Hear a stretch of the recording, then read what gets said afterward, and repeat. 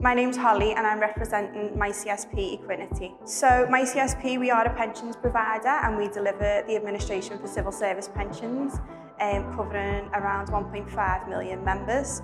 So our roles are quite varied, so it's anything from customer service, administration type roles, um, anything from that up to project, um, data analysis, IT, um, the, ro the roles are really varied across the business. The UK Career Fair at Anfield today has been lovely. Um, I've got to meet a lot of people um, and also see what type of work people are looking for um, and what we can do to support people getting into work and what we can offer. We've met quite, um, uh, we've met a lot of people today, um, young, middle-aged people. Our company's quite varied as well, so we, you know, we have a younger generation and we also have an older generation.